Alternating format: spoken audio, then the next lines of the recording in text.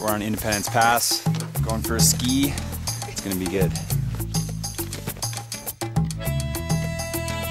Up here at 12,200 feet and I'm gonna go out on a ski tour and get a little workout, get a few turns in and get ready for the big winter ahead. Now lean over like you're looking over the precipice, like you just got to the summit of like not not so much jitter. Skiing is one of those great sports that gets you very close to Mother Nature, and that's what I love about it. I love being out in the mountains.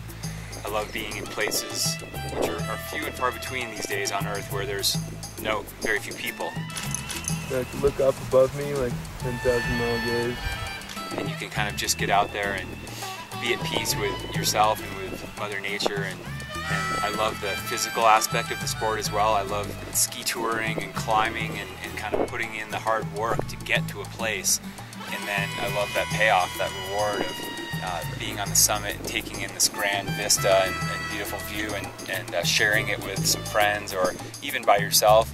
And then strapping your skis on and, and being able to fly down a mountain. I mean, there's very few sports in the world where you can, uh, without, a, without a motor, go 50, 60, 70 miles an hour and catch huge air and fly. And really, to me, that's an incredible sensation.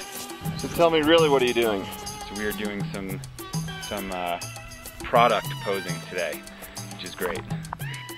Okay, now to walk towards this bush.